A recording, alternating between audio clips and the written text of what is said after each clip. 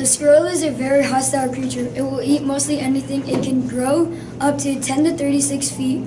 It has a lifespan of 4 to 12 years. It is cold-blooded and hibernates in the winter. It is a heterotroph. It mates in late fall similar to white-tailed deer. Its mating call is a squeaking noise. Squirtle lives in Chad, Africa. It is very lazy and most of and sleeps most of the day. It hunts for only two hours a day at max. It doesn't like people and will attack humans. The mating call is very loud. It runs very fast and will chase anything down. The waiting call sound like